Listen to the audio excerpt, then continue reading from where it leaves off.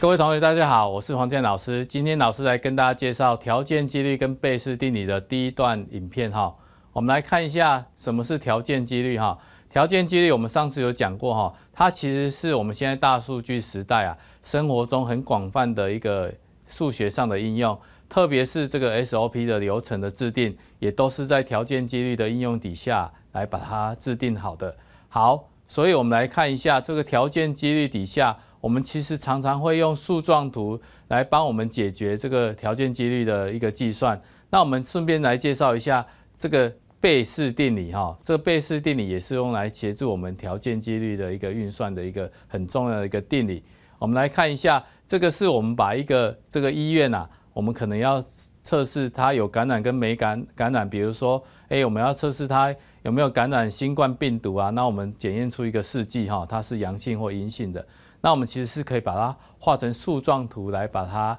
分类分好哈，然后我们来协助我们的计算。那从这个树状图里面，我们其实也可以发展出我们的贝氏定理，然后用数学的式子来代表这个树状图，它是不是可以追溯它的来源，然后来做一下计算。好，那我们还是来复习一下几率的乘法原理哈。那我们来看一下，这是我们之前有学过的几几率的乘法原理。我们看第一个，如果我们要求 A 事件这个交集 B 事件的几率，那事实上啊，它会等于 B 事件的几率再乘上在 B 事件底下产生 A 事件的几率条件几率。那这个其实是可以从条件几率的定义而来的。那我们如果把它两个反过来，事实上我可以把它看成是。A 事件的几率再乘上 A 事件底下产生 B 事件发生的一个几率哈。好，那如果是三个交集的话，A 交集 B 交集 C，那老师建议同学啊，这个比较困难一点，我们可以先把 A 事件跟 B 事件的交集当做另外一个事件，然后它跟 C 事件去做交集，然后把这个先写成乘法乘法定理，也就是啊，其实它是。A 事件交集 B 事件的几率，再乘上在 A 事件交集 B 事件底下产生 C 事件的几率，然后我们再把前面那一个 A 事件交集 B 事件的几率啊，把它带第一个定理那一个把它带进去，所以这三个就可以变成是这个 B 事件产生的几率，再乘上 B 事件底下产生 A 事件发生的几率，再乘上 A 交集 B。的条件几率底下产生 C 事件所发生的几率哦。那我们可以来看一下，我们如果把一个样本空间 S 分割成 A 跟 A prime，那么事件 B 跟 B prime 的几率的求法，我们来看一下哈，这一个这个这一个文式图，我们来看一下这 B 事件就是红色圈圈这个这一个事件的几率，其实我可以看作是 A 事件跟 B 事件。交集所产生的几率，再加上 A prime 交集 B 所产生的几率，啊，就是 A A A 跟 A prime 是一个分割的一个事件哈。那我们要求 B 事件所发生的几率，就是左边这一个紫色的，再加右边这一个粉红色的部分哦。好，那我们来看一下 B prime。那 B prime 我们也可以这样子看，B prime 其实就是 A 交集 B prime 的几率，再加上 A prime 再交集 B prime 所产生的几率。好，那各位同学，其实这个还是一样哈，一开始我们还是要搭配画一下文式图来帮忙我们自己把它理解出来哈。好，那我们就来看一下这一个题目哈。如果啊，我们要想要知道某个国家它猪啊。得到口蹄疫的几率，它有一个检验的方法，我们来看一下哈。如果某个国家猪得到口蹄疫的几率啊是零点零五，那么我们今天有一个口蹄疫的检验方法，它啊可以对健康的猪做出正确检验的几率是零点八，那么它对患有口蹄疫的猪可以做出正确检验的几率是零点九，也就是它患有口蹄疫，那你就可以。把百分之九十的检验出来，但是还是有百分之十的检验错误哈。今天有一个猪，因为我们不知道这个猪是不是真的患有口蹄疫，它做一个检验，那它检验出来是健康的几率是多少？那么可是它检验出来是健康，不代表它是真正健康。所以第二小题我们要看是说，如果它检验出来是健康，可是其实它是患有口蹄疫的几率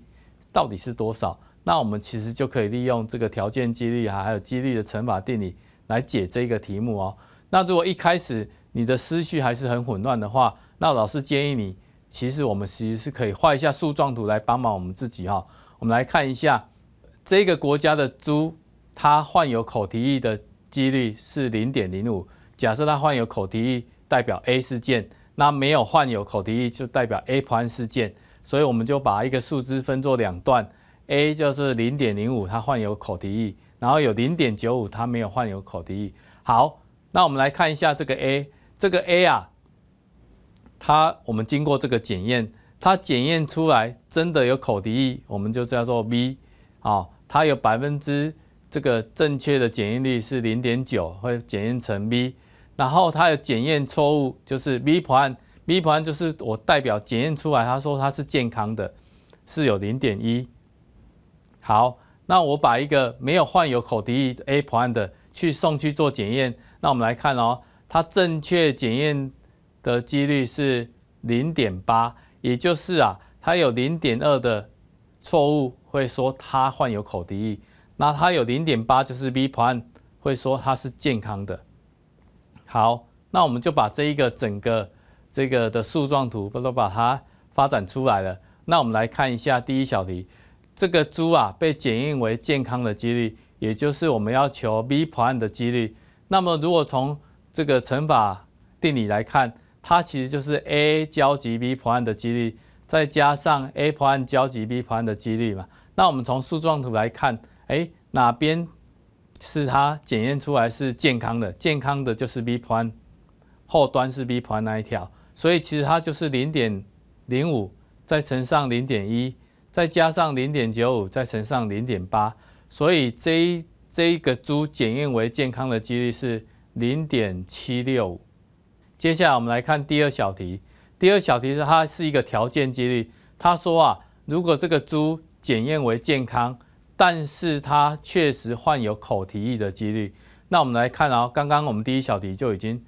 算出来它是健康的几率。但是这个健康的几率里面，各位同学有没有发现，其实它是健康的？事实上，它是从上面有一个树枝跟下面有一个树枝来的。好，但是这上面那一个树枝啊，其实是代表它有口蹄疫，但是它被检验成是健康的，就是检验错误哈。所以我们第二小题我们就可以看到。在 B 普案底下产生 A 的一个几率，其实我们就可以用条件几率的定义，它等于 P B 普案的几率分之在 A 交集 B 普案的几率底下把它算出来。好，我们来看 B 普案几率是，其实我们刚刚算出来是零点七六五嘛。那我们再来看一下，它检验错误的就是上面这个零点零五乘以零点一这一条，所以我们得到上面的数值是零点零零五。所以其实我们就可以知道，如果这些猪啊检验出来是健康的，那事实上它有一百五十三分之一，哎是检验错误的，它可能还是含有口蹄疫哈。所以这个检验还算是一个不错的检验检验方式啊哈，因为一百五十三里面它有一只是检验错误的哈。那我们来看一下另外一个类题哦，他说啊这个鸭哦这个会得禽流感。那一样，他说得到禽流感的几率是零点一，所以没得到禽流感的几率是零点九。那么我今天发展一个试剂检验法，对健康的鸭可以做出正确的检验的几率是零点九。那么患有禽流感的鸭可以做出正确检验的几率是零点九五。好，那我们来算一下这个鸭它患有禽流感的几率，一样，我们还是一样哈，我们用 A 事件。代表鸭得到禽流感的事件，B 事件代表了检验出它患有禽流感的事件。好，一样，我们还是一样列式子哈。但是如果一开始你对这个式子还不是很熟悉的时候，我们还是可以画一下文式图来帮忙哈。这个某地区的鸭就是有零点一的几率会得到禽流感，有零点九不会得到禽流感。好，那我们再来看一下患有禽流感的这个 A。那它会有零点九五的，是检验出来是 B，那这是检验正确的。然后会有零点零五检验错误，就是说他患有禽流感，可是他验出来没有禽流感哈。好，那同理，他对没有患有禽流感的，他可以做出这个正确的这个检验啊，是这个零点零点零点九，所以他没有患有禽流感，然后他之后又检验出来没有禽流感，就是最下面这一只是零点九。但是他把没有患有禽流感检验出来是有禽流感是零点一哈，所以我们就把这一个树状图把它把它完整的解决出来，我们其实在算这个题目就会更快。那所以你看第一小题，他要说啊，这个鸭验得有禽流感的几率，那我们来看一下这个树枝啊，最后面他说他患有禽流感就是 B 嘛，就是 B 好，所以我们看 B 的有两个树枝，它其实就是零点一乘以零点九五。再加上零点九乘以零点一，所以我们就可以算出来，它患有禽流感的几率就是零点一八五。好，那么第二题也是一样啊。他说，如果这个鸭检验出来患有禽流感，那事实上它是健康的几率。那我们来看一下哈，也就是我要在 B 事件底下产生 A 环事件的一个条件几率。好，那我们用条件几率定义，我们可以来算分母就是零点一八五啦。那分子的话，其实就是，哎，我们检验错检验错误嘛，哈，就是所以就是零点零九，好，零点零九，所以其实啊，你看这个检验方法看起来就没有那么好，为什么？因为它检验出来如果是正确的比例，就是说它检验出来它得到禽流感，结果它是健康的比例是三十七分之十八，也就是啊。它如果检验出来有三十七只有禽流感，事实上有十八只是健康的，哦，所以这一个这一个问题就是我们利用这个条件几率还有几率的乘法定理，我们可以来看出这个检验方法到底够不够好，好，要不然你光看它字面意哦，它好像这个检验方法是很好的，因为它对一个健康的鸭可以做出正确检验的几率是零点九啊，那它对患有禽流感。的鸭也可以做出正确检验的几率是零点九五，数数字上看起来都很好，可是事实上我们用条件几率一来反算，就发现其实它检验的比例事实上是很不好的哈，因为三十七只你检验出来是这个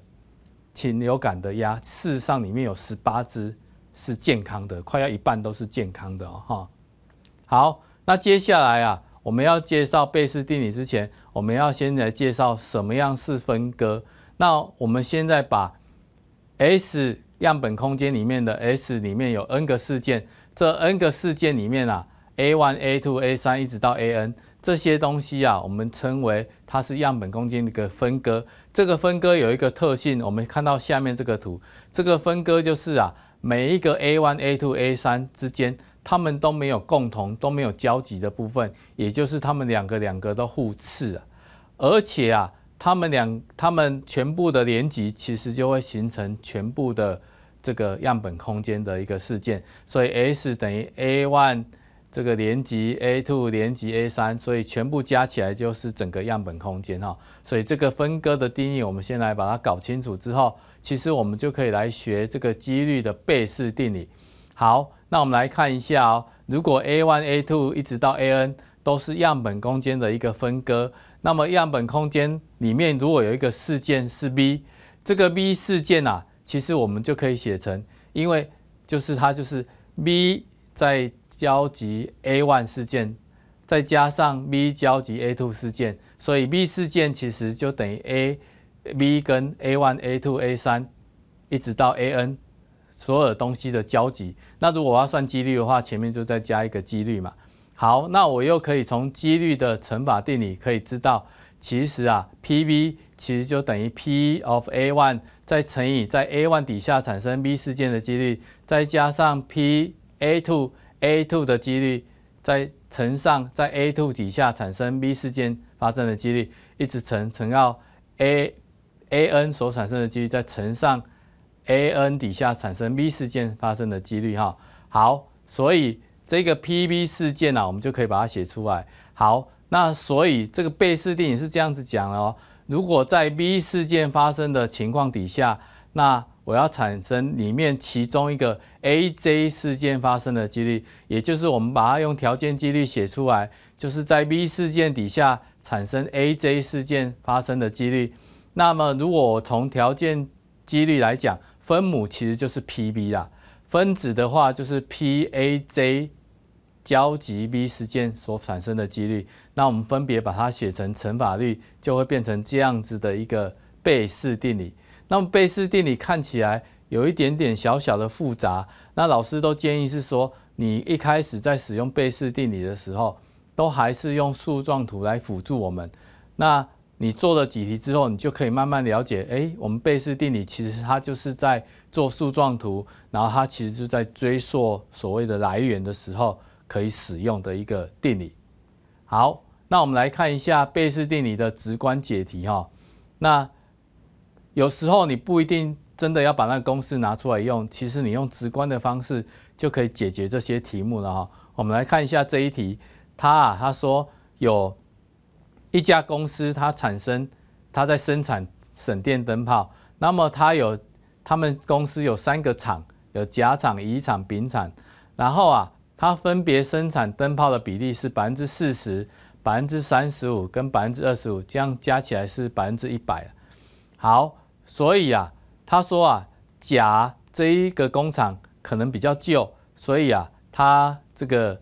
生产瑕疵品的比例是一点三；乙工厂比较新一点，所以它这个瑕疵品产生的比例是一点二；丙工厂可能是最旧的，所以它这个生产的瑕疵品的比例是一点五。好，那么我已经把所有的公司生产的这个灯泡啊集中起来，那我。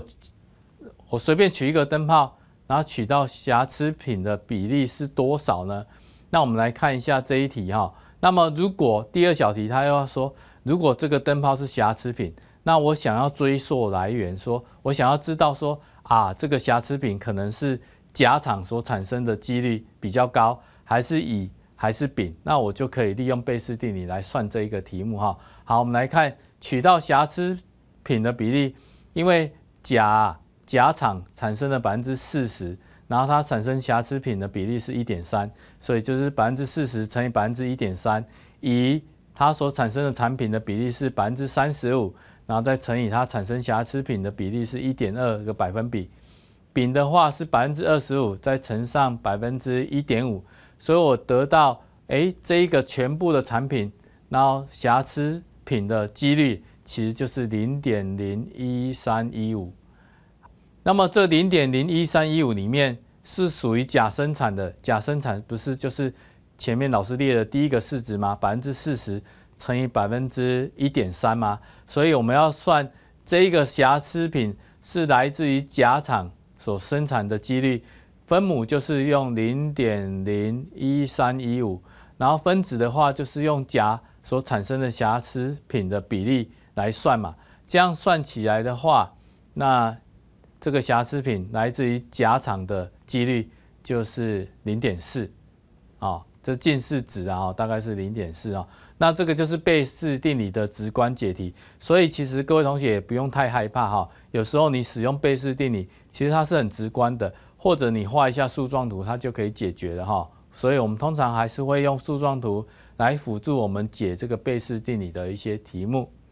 所以，我们来看一下这个贝氏定理啊。贝氏定理的公式其实是这么的复杂。那事实上，如果你一项一项把它解决，它其实也是很简单。它其实就是条件几率哈。那它把每一个条件几率写成分割的乘法定理这样子而已哈。那如果条件太复杂的时候，其实我们可以先利用树状图的方式，那考虑每一种情形它的发生率，再计算啊，在那一种情形下产生的几率，来协助我们。解题哦，所以大部分而言，我们还是会画一个树状图在旁边协助我们解决这一个这个解题，而且帮助我们思考哦。你去印记这个公式其实是没有什么没有什么用的哈。好，那以上就是老师跟大家介绍条件几率跟贝氏定理的第一段影片。